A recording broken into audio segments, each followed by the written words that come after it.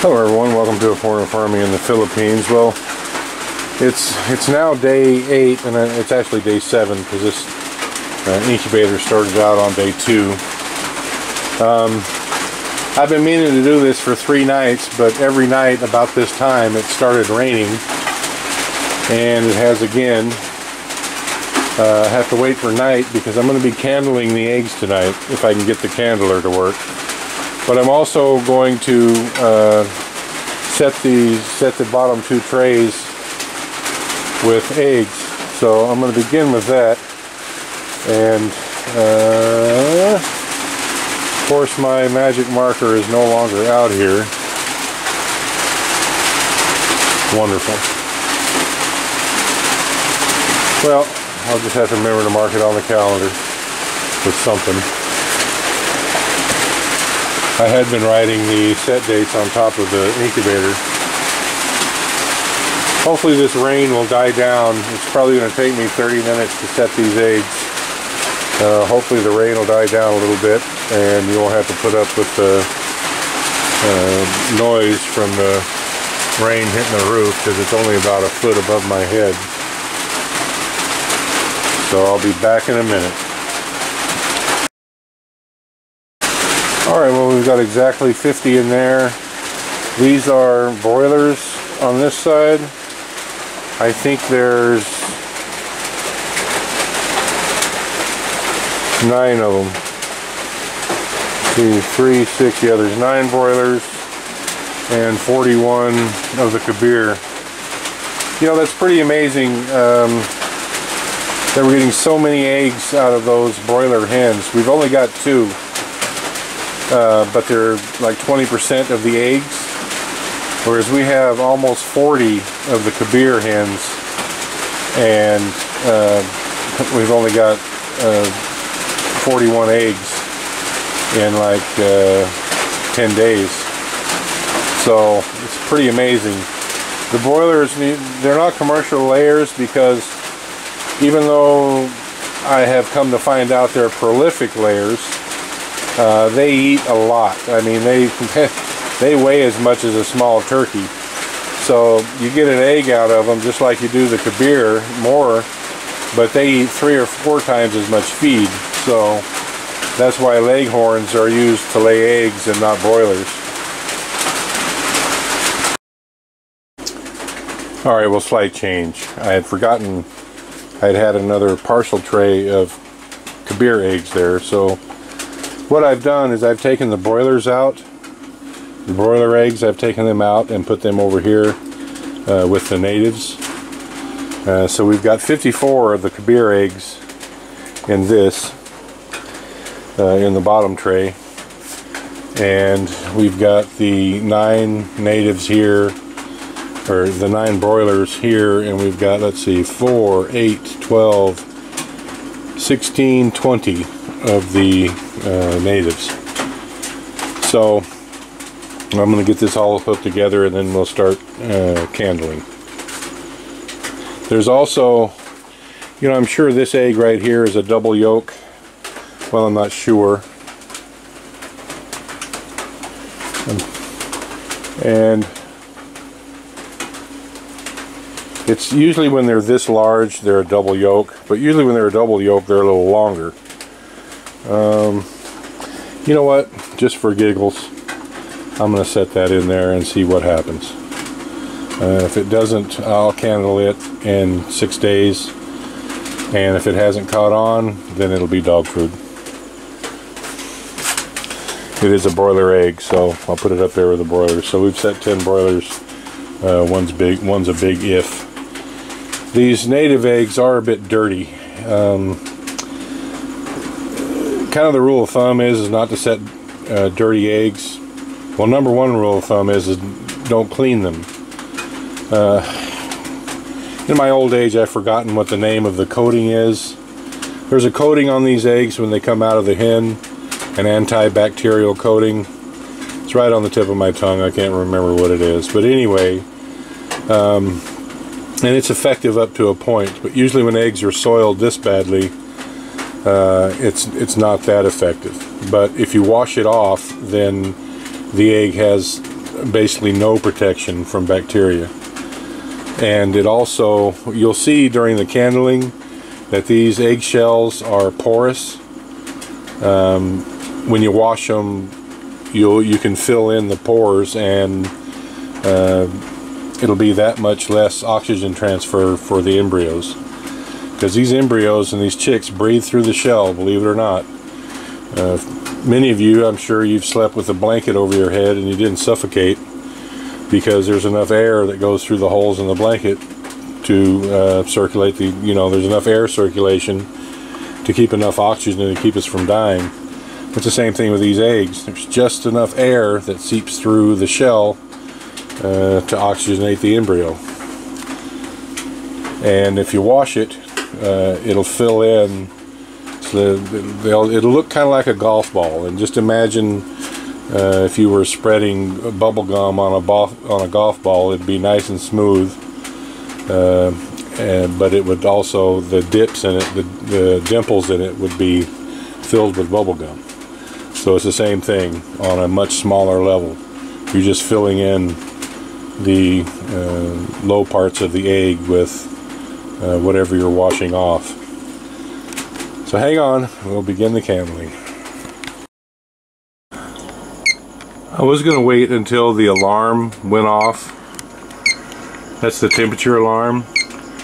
But I wanted to, because uh, I'm checking a few just to make so it's a, a good video. I'm checking a few beforehand to show good examples. You can see that little dark spot that you see moving around in there is the eye of that chick. You can see it moving in there. Now this is day eight. And you can just see him moving around in there. And I'm in pretty close. If I back out a little bit, see there he's moving. You see that little dark spot? That's moving around in there? That's the chick's eye. Now, it's hard to tell. This is a darker shelled egg. And so you can see if you really look close the the veins. Maybe if I come up to the top you can see them a little more clearly. There you go. You see those little veins? The little dark lines? Those are the those are the veins of the chick. I hope this is focusing bring it in here real close. Uh, that's the blood supply. And you can see it looks spotty. Those are the pores that I was talking about. Uh, an eggshell isn't solid. It's porous. And the the lighter parts that you're seeing are the thinnest part of the egg. See if we can get this guy to move around some more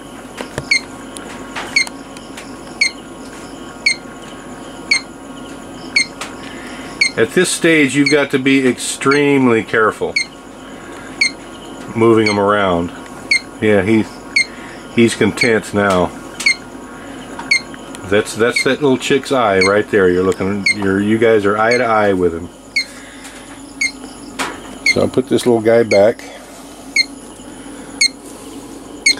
And I apologize for the beeping, but I wanted to catch him moving around some. Now this is a broiler egg,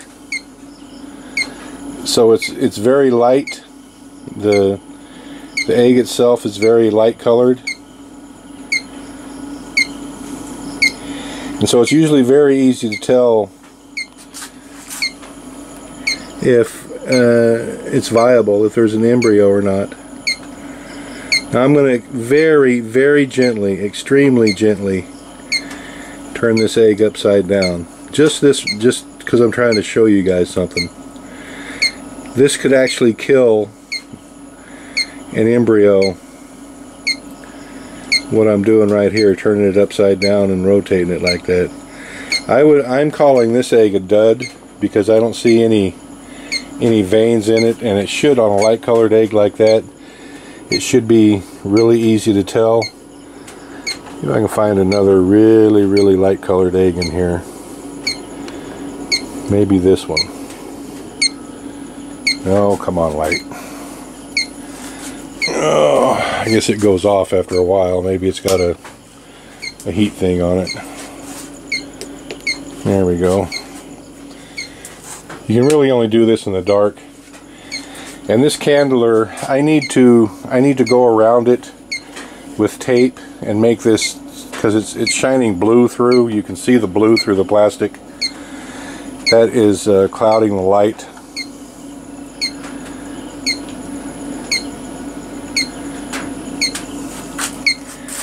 This one here might be an okay one to look at. Again, you guys are eye to eye with that little chick. And maybe he'll move around in there for us. Yep, he's moving around. See him? See that little dark spot? That's the chick's eye, and uh, he's moving around. Now usually at day five, you can just start to see the veins. Uh, but at this stage, there it's it's you know we're at day eight, so we're more than a third of the way through. You can see up here on the top, this lighter, this lighter area. How how good it's coming in on video. There's a little light cup right on the top. Maybe you can tell it's maybe five percent of the egg. That's the air sac, and this is the problem. It should be larger than that at day eight. And that's the problem I've been having with these eggs. It's um, they're just they're not drying out enough. You can clearly see the the egg sac in this one. It's the top part of the egg that's a different color. Now this one is about the right size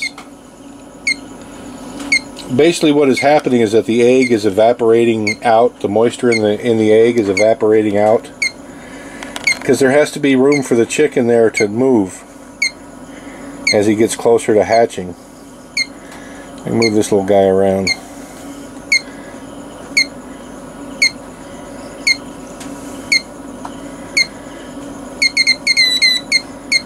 Alright the alarm's going to go off here shortly.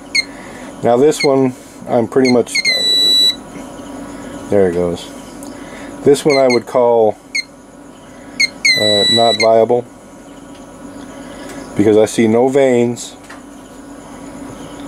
and I see no eye, I see no movement. I really, I'm, I'm, like I say, I've been trying to get this done for three days. We're a few days late to really see veins. Maybe, no, we'll just keep picking them up and keep trying them. I've got about another three minutes here before I've got to do something else. There you go. You can clearly see the egg sac in this one, or the, the uh, air sac in this one. It's the top part that's a little uh, differently colored. At day 5 you can see the veins pretty pretty clearly. It looks like a spider web in there. On white eggs it's pretty easy to see. But on these darker eggs it can be tough. There he is right there. Now see this guy's wanting to move around for us too.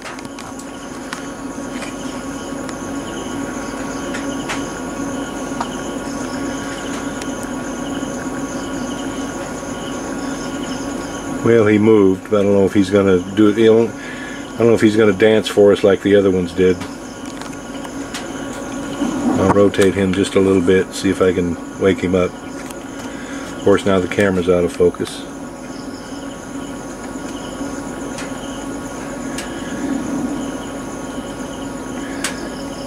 you can you can kind of see the veins in it right now and I apologize for my camera this camera is not a, a low light camera and we're in the dark so uh, that's candling I'm gonna take a few I'm gonna shut this off and I'm just gonna take like four out of the the next tray down because those are ones I'm doing for someone else and there's some actual white eggs in there so we'll give those a shot. Know, again, the focus. Sorry about that, guys. I'll edit that little part out. Well, for some reason the camera stopped. Maybe I didn't even start it on this. But anyway, um, is that a dirty spot or is that an eye? That's a dirty spot. You can see the veins. in this one. This is probably the clearest picture that I've taken of the veins. You see it just looks like a little spider web in there. Those are the those are the veins of the chick. And he's right up at the top. You can see his his eye right at the top. So this is a pretty good example. Even though we're a couple days late, like I say on white eggs, it's much easier to tell than it is on brown eggs. So I'm going to do the last one. I've got four of these here. This is the last one of the ones I'm incubating for another gentleman.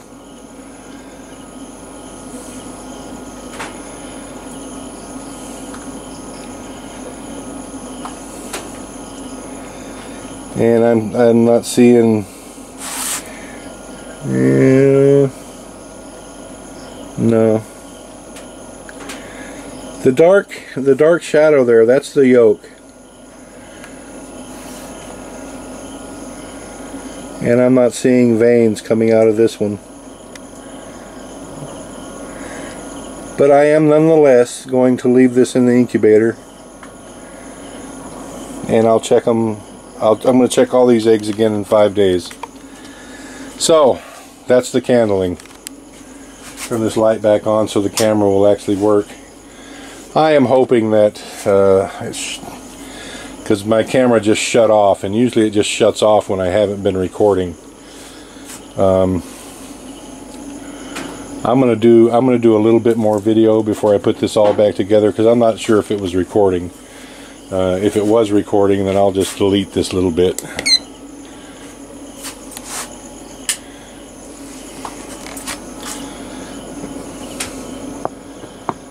Alright, these are the eggs that I'm incubating for someone else. You can clearly see the egg sac in the top, the airspace. The egg sac, the airspace. That's this. You can see the the veins. I hope you can see them. I can clearly see them.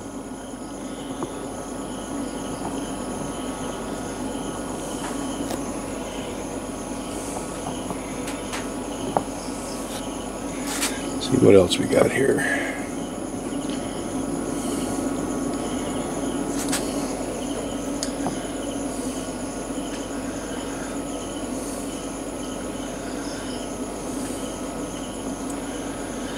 I'm not too sure about this one. I'm going to take it back. Alright, that's that little chick's eye right there. And you can see the veins. There's a large vein on the lower right hand side and he's moved so you can't really see his eye anymore. Let me see if I can rotate the egg just a little bit. There's a large vein right there. You can clearly see that. Peekaboo. There's another vein there that's kind of running diagonal. So this is this is viable. And there's one more here. Where did I put it? There, right here.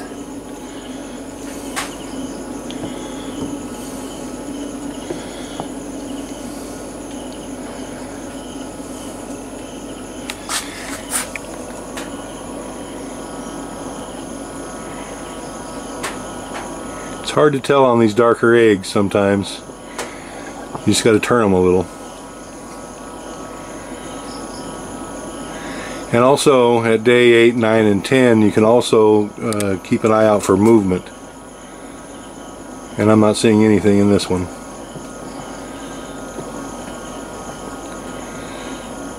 Alrighty.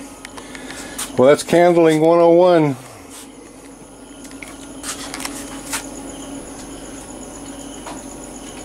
I've had these guys out of the incubator far too long. It's been about 10 minutes, 15 minutes maybe, so I'm going to put these back and button it all back up. And uh, thank you everyone. Please like, comment, share, and subscribe.